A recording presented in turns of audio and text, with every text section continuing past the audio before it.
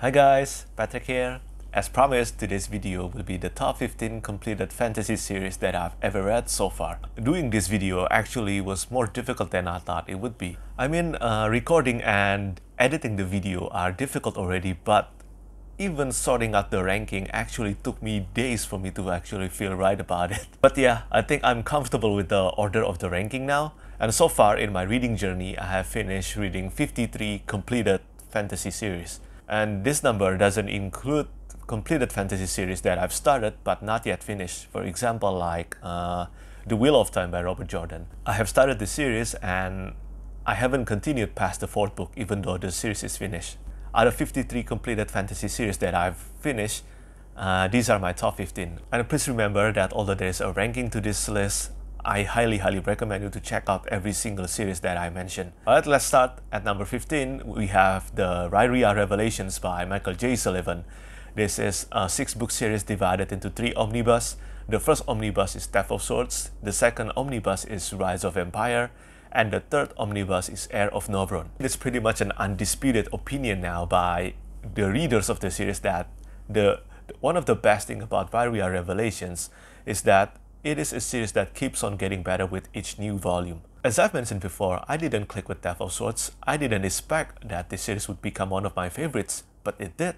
The last two books, which is The Last Omnibus, is still one of my favorite books that I've ever read so far. If you have heard about this series before, you probably know already that Royce and Hadrian are beloved characters. They are one of the best bromance in fantasy. The set characters were also incredibly well written and Arista and Modina are still some of the best female characters that I've ever read in fantasy. Even though it's been almost 4 years since I've read the Riyria Revelations, it is that good. And of course, not only there is a noticeable steady rise in quality with each book, the Riyria Revelations eventually reaches one of the best and most satisfying conclusion in fantasy that I've ever read. Next on the list we have Book of the Ancestor by Mark Lawrence. The first book is Red Sister, the second book is Grey Sister, and the third book is Holy Sister. Coming of age fantasy and battle school is one of my favorite tropes in fantasy. I simply cannot get enough of reading about them, and Book of the Ancestor trilogy features these tropes incredibly well. And it is interesting because Book of the Ancestor actually are so different than the previous series by Mark Lawrence before Book of the Ancestor. Uh, Broken Empire trilogy and Red Queen's War trilogy. Broken Empire trilogy and the Red Queen's War trilogy featured uh, main characters that either morally grey or just downright villainous. That goes for Jorg from Broken Empire trilogy. But that's not the case with Nona.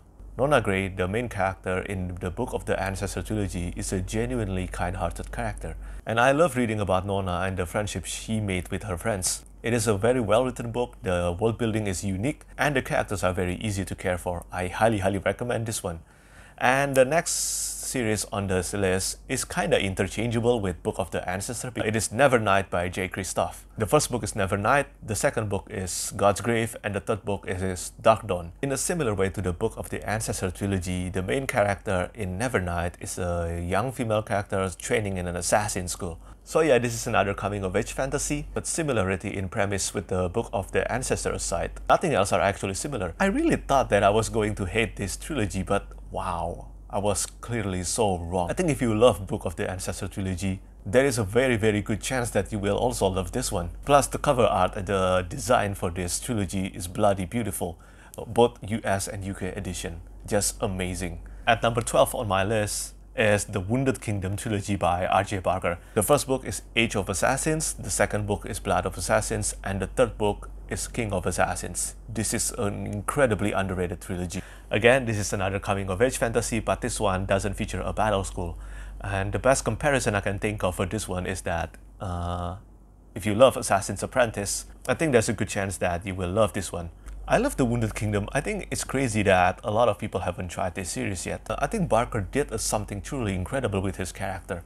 Girton's character development felt organic and even though there were times where he was, wow, so infuriating. I mean, uh, this was especially true in Blood of Assassins. I mean, come on, even the author admits it that he wanted to slap Girton. But even though he's infuriating sometimes, I do think that his story always makes me want to continue.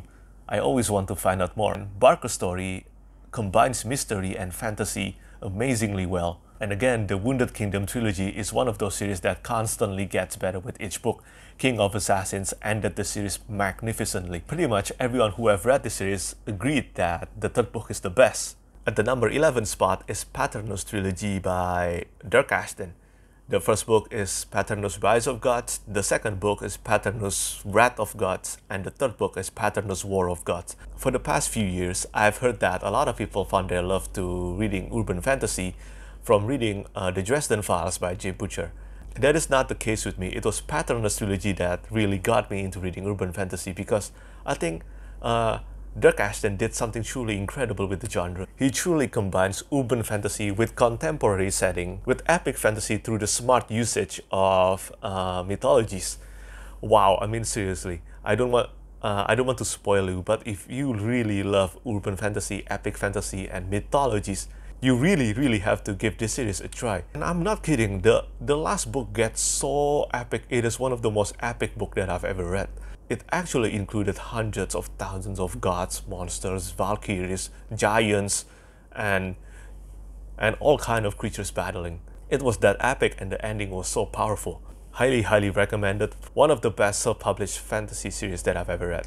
At number 10, we have the Winnowing Flame trilogy by Jen Williams. The first book is The Ninth the second book is The Bitter Twins, and the third book is The Poison Song. This is probably one of the most underrated trilogy that I've ever seen. It's so damn good that it actually shocked me that not, not too many people have talked about this yet. The main characters, especially the main trio, Vintage, Noon, and Tor, are truly memorable characters that I love since the first book. And this is one of those series that is kinda hard to define because it kinda blends fantasy, sci-fi, and horror together into one and the result is brilliant. Plus, uh, if you love animal companions in fantasy, I'm going to assume you do, uh, you have something even better waiting for you here. A war beast. A lot of them. Just look at the cover. Just look at the cover art. There's a griffin, there's a flying tiger, there's a dragon, and with warriors riding them into battle, you can expect insane aerial battles. And my god, Jen Williams delivered. At number 9, we have the Poppy War trilogy by R.F. Kuang.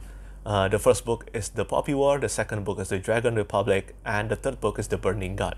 Uh, I'm for this one, I'm kind of cheating because the third book uh, hasn't come out yet. It comes out next month, but yeah, I've read this one and I thoroughly uh, love this trilogy. It is one of the best trilogy that I've ever read. It is a brutal war story, and I love that Kuang's writing constantly gets better with each book. Seriously, her, her writing in The Burning God truly signaled uh, great things to come in her future novels. At the number 8 spot uh, is Divine Cities trilogy by Robert Jackson Bennett. The first book is City of Stairs, the second book is City of Blades, and the third book is City of Miracles. This is an amazing urban high fantasy trilogy. Uh, it's, a, it's an urban fantasy that takes place in a fictional world. I love this kind of urban fantasy. If you have recommendations, please let me know. Anyway, back to the series. This is a standalone trilogy. Each book features a self-contained story with different main characters in a different setting.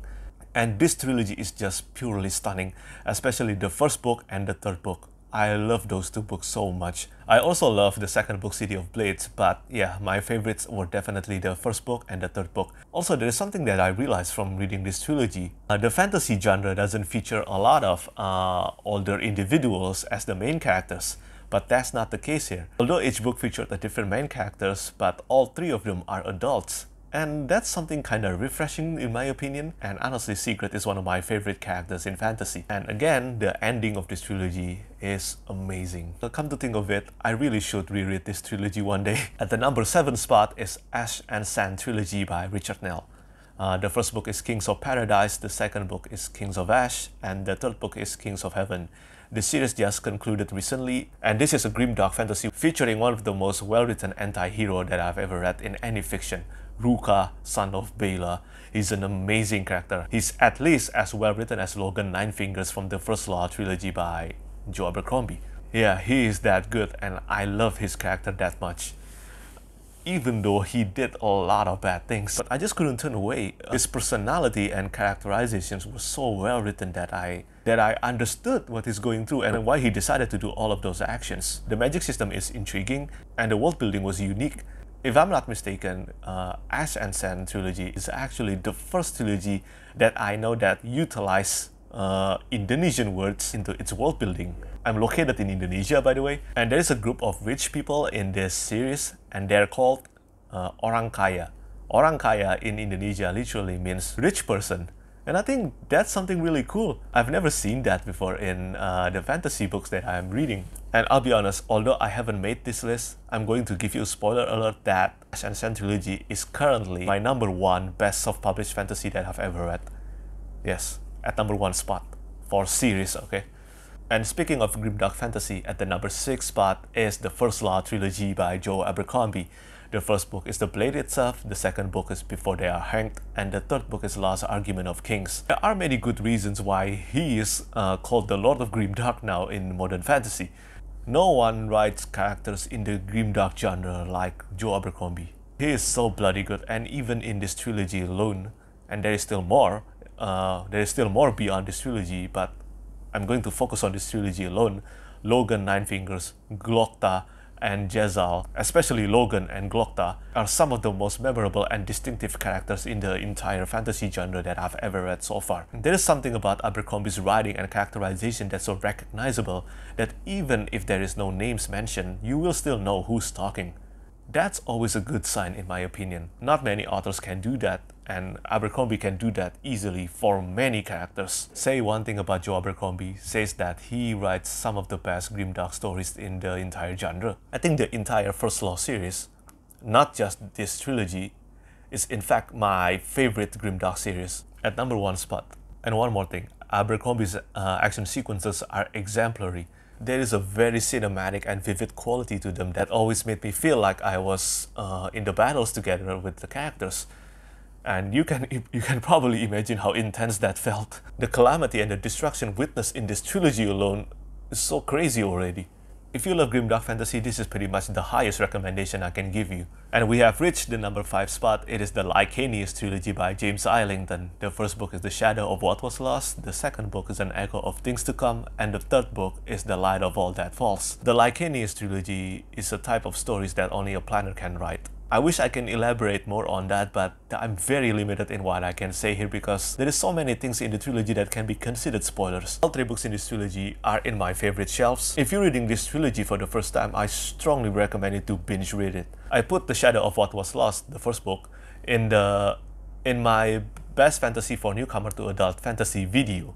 And I stay true to that. But as I mentioned, the second book and the third book uh, the complexities and the intricacies improve significantly. And because of that, I think it is quite mandatory for you to binge read this trilogy together. I've seen several reviews that mention that when they're reading the third book, they felt like they've they felt like they've forgotten a lot of details, and even though there's a very detailed summary in the beginning of each book, I can definitely understood why they felt that way. I will too, but thankfully I binge read this trilogy non-stop. I very much love this trilogy. If you have seen my reviews on Goodreads or Novel Notions, you know just how much I love this series. Islington has mentioned that uh, he started writing the Licanius trilogy after he finished reading the Kingkiller Chronicles, the available ones anyway, by Patrick Rothfuss and Mistborn trilogy by Brandon Sanderson, and it shows so much in his writing. The way he plots the entire series and foreshadows everything from the first book is very reminiscent of Mistborn trilogy. I just love the Licanius trilogy, please please give this a go. And speaking of Mistborn, at the number 4 spot is indeed Mistborn trilogy by Brandon Sanderson. The first book is The Final Empire, the second book is The Well of Ascension, and the third book is The Hero of Ages. Look, as I just mentioned, uh, the plotting of this trilogy is incredible, and this is not even Sanderson's best work. In my opinion, Sanderson's best work is still The Stormlight Archives. It is not on this list because it is still ongoing. However, I do have a huge bias towards Mistborn trilogy. Look, uh, a lot of people have mentioned The Lord of the Rings or Harry Potter as their gateway to fantasy. That is not the case with me. Mistborn trilogy is my gateway into reading fantasy novels. I have always been a fantasy reader, but not for novels. I read manga since I was a child, but reading adult fantasy, I've only been doing it for 4 years. But this is what made the Mistborn trilogy the most important series for me. Without reading this trilogy, you probably won't be watching this video right now. You probably won't be seeing me writing uh, those hundreds of reviews that I've done. It is an amazing trilogy with the best magic system that I've ever read so far. Even though I've read almost 500 novels, I still think that Allomancy is the, still the best and the most well-written uh, magic system. The plotting in this trilogy is incredible, the world building felt atmospheric, and the characters are so memorable to me. Vin, Kelsier, Sazed, Spook, uh, Elend, uh, TenSoon, and so many more characters are characters that I will always remember. I remember back when I first finished Hero of Ages for the first time, I actually just sit and stare at the wall. Like, wow, what did I just read? That was mind blowing. And that's when I realized that, wow, I can love reading adult fantasy. And now we have arrived at my top 3 completed fantasy series of all time. And honestly speaking, the top 3 here are very interchangeable depending on my reading mood. So just consider these three at the number 1 spot. First, we have The Realm of the Elderlings by Robin Hobb. This is the definition of what I would say character-driven fantasy at its best. It is a gigantic series, more than 4 million words, divided into 5 sub-series. The first being Farseer Trilogy, the second the uh, Liveship Traders Trilogy, the third the Tawny Man Trilogy, the fourth series is the Rainwild Chronicles, and finally the fifth and the Fool Trilogy. This is one of my most treasured series of all time. I love this series so much and I think I will love this even more on reread. And again, this can also be considered a coming of age fantasy because we see Fitz, the main character from uh, he was uh, a boy until he was old in the Fitz and the Fool trilogy. In the entire 16 books, there aren't too many battle scenes, so if you come into this series expecting that, you probably will have a bad time. This doesn't mean that there isn't a lot of intense moments because wow, there is a lot. And there are two things that uh, fans of the series, myself included, can definitely agree with. First, Hobb's writings is one of the best in the genre. It's beautiful, lyrical. I can just read her writing forever. and the second thing, it is heartbreaking. That's all I'm gonna say on this one. Hobb is so merciless towards her characters, all of them. Sometimes when I'm reading, I actually felt, oh come on, give this guy a break already. I have actually written more than 10,000 words of reviews for the entire series, so yeah, I don't have much else to say except that, once again, this is character-driven epic fantasy at its best, and I totally recommend it. The next series in my top 3 is Malazan Book of the Fallen by Steven Erikson. You might have heard about this series, and if you have heard about this series and haven't started it, you probably have found yourself intimidated by it. And I totally and I totally understand that it is a huge commitment. It is the most complex epic fantasy that I've ever read so far, and the world building is so massive. I'm not joking. Uh, by the entire ten books actually have more than a thousand different names for you to remember. In my opinion, Steven Erikson is a blessing for the genre, and I am truly grateful that I gave this series a try. Believe me, I was intimidated too. It is a 10 thick book series with more than 3 million words and this series has become so large that even if Erikson wants to write in this uh, in this world forever, it could still work.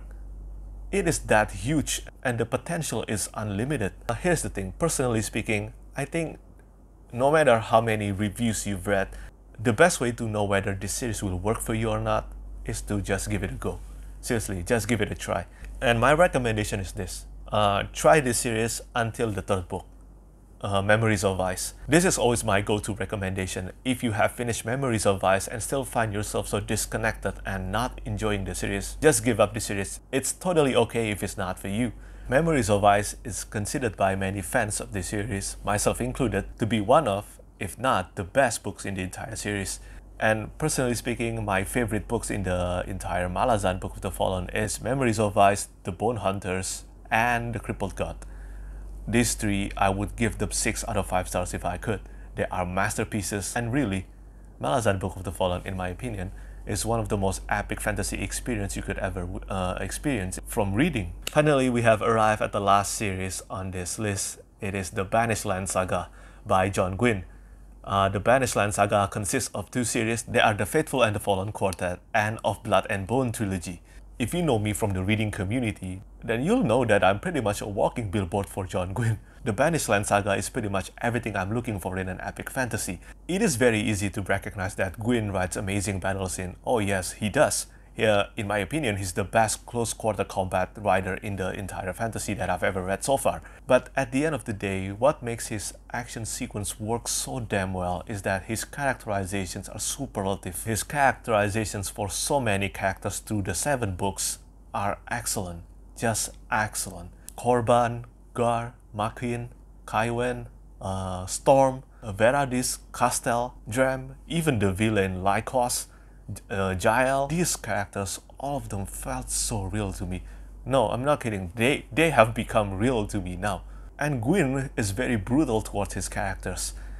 Uh, he kills off many characters. I love authors that willing to kill, kill off their characters. And I do realize that this isn't a storytelling decision that can be taken uh, or executed easily. Because if an author wants to kill off their characters, they have to make sure that they have enough other characters for us to care for. But there is a huge benefit that comes from killing off characters.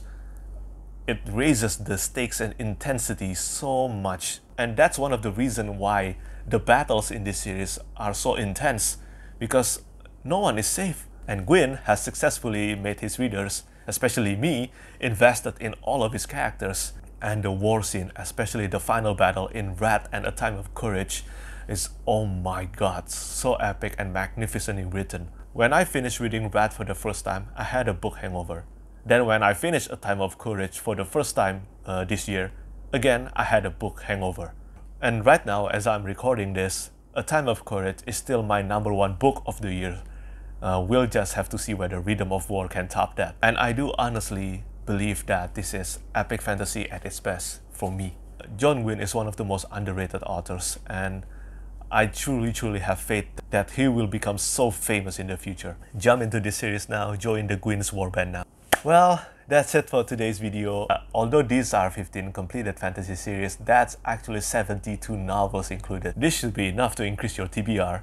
There are still a lot of completed fantasy series that I haven't finished reading yet, so there is a chance that uh, this list might change in the future. I'm thinking of doing this video annually, but if there isn't a lot of changes uh, next year, I think I will do this video again in 2022. I usually read around 100 books, so if there is a lot of changes by next year, I will do this video again next year. Next month, I will probably feature my favorite ongoing fantasy series, which I know will be even more difficult to do but I will do my best. I hope you have enjoyed watching this video and I really really hope that this video will increase your TBR a lot. And as a reminder, I have written a full spoiler-free review for all the books mentioned on this video. You can read them on Goodreads. That's it from me. Thank you so much for watching and thank you so much for all your support. Uh, especially to my Patreons, you have my gratitude always. Bye!